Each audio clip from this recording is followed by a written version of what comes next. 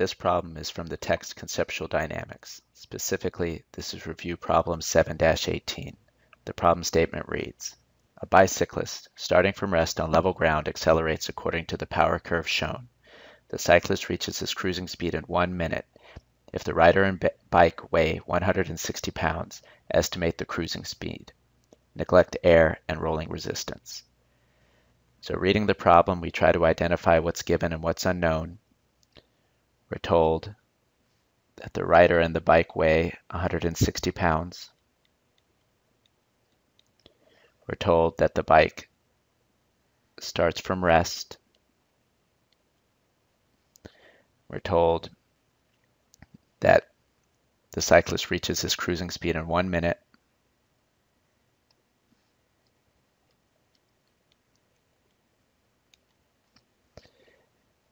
We're also given this power curve, power versus time, and we want to estimate the cruising speed. We want to estimate the velocity at 60 seconds at one minute. So having read the problem, we basically understand what's going on. We'll go to the next slide in order to actually perform the solution. I've reiterated what we've been given thinking about this, um, since we're given information about power, which relates to work, um, it's likely that a work energy approach would be appropriate for this, for this example. So specifically, we can use the work energy principle, which says the initial kinetic energy plus the work done by all forces is equal to the final kinetic energy. In this case, when we use this form of the equation, the work includes the work done by all forces, including conservative forces. In this case, uh, there aren't really any conservative forces uh, doing work. Um, the rider stays on level ground, so uh, the weight doesn't do work. Um, there is no change in potential energy. So this is the form of the equation that we're going to use. Since the biker is initially at rest. His initial kinetic energy is zero. The final kinetic energy, 1 half mv squared, relates to what we want to find. Um, so we know the weight, hence we know the mass, and we're trying to find the cruising speed, which is v2 in this case. The work uh, we're not given directly, but we can determine it from, from the power curve. Specifically, we know that power is the time rate of change of work. In this case, we're given power and we want to find work, and so we can rearrange this, multiply the dt to the other side, and so that sort of gives us a differential change in work um, but we want the total amount of work done over all 60 seconds. And we find that by performing an integral, you know, summing up all of the differential elements over that time period. We're trying to determine the work done between zero seconds and 60 seconds. And so we can do that. You know, we don't necessarily have an equation for this curve, for this function, but we can determine the integral graphically as the area under the curve. Okay, and so again, we don't necessarily have an exact function for this, and so the way that we're going to have to estimate the total work done, the way that we're going to have to estimate the area under the curve is to sort of um, break it up into geometric shapes that we can calculate the area of. And so this won't be very exact, but it'll be pretty good.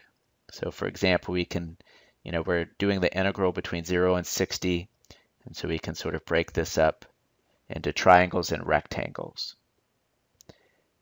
And it doesn't give us the exact area, but it'll give us a pretty, pretty good estimate. Okay. So rewriting this over here.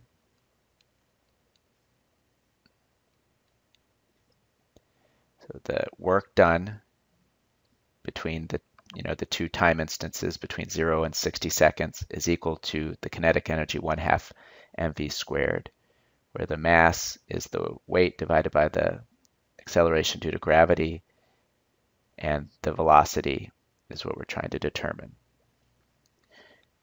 And so we can approximate this, this first triangle, uh, we find the area 1 half base times height.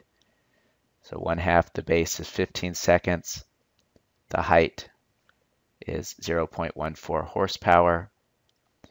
Then we have this rectangle, base times height. Its base is 15 seconds. Its height is also 0.14 horsepower. We then have this triangle, one half base, its height. If we subtract the 0.24 and the 0.14, get 0.10 horsepower. Move to the next rectangle. The base again 15 seconds. The height, the height is 0.24. This triangle, they all have the same base. In this case, the height, we subtract 0.24 from 0.3 to get 0.06. And then the last rectangle, same base and the height is 0.3 horsepower. And so we punch that into our calculators. We get that it is approximately 12.45 horsepower seconds. In this case, um, on the right-hand side, when we do the kinetic energy, we're going to have units in pounds and feet and seconds. So we need to convert these horsepower into different units. If you look in the appendix of the book, you can find this, um, but one horsepower is equal to approximately 550.22 feet pounds per second. So the horsepower cancel, the seconds cancel, and we're left with approximately 6,850.2 foot-pounds.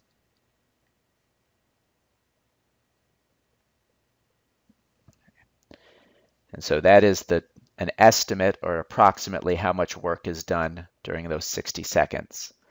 And so we can then take that and use that to solve for our velocity. Okay, so we have, we want to solve for the velocity. So we have the work done between those two time instances. That's what this is. Multiply by the 2, divide through by the weight, multiply by the the constant due to the acceleration due to gravity, and then take the square root of both sides. And that's our expression for calculating the velocity, the cruising speed velocity that we reach after 60 seconds. Plugging in numbers, I have the work done in foot-pounds, the acceleration due to gravity is 32.2 feet per second squared. The weight is 160 pounds. The pounds cancel. We'll get feet squared over seconds squared. When we take the square root, we'll get feet per second.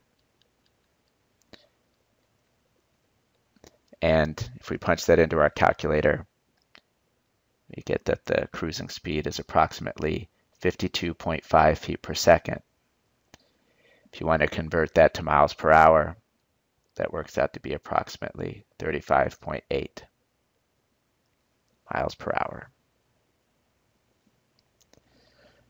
So that brings us to the conclusion of this example.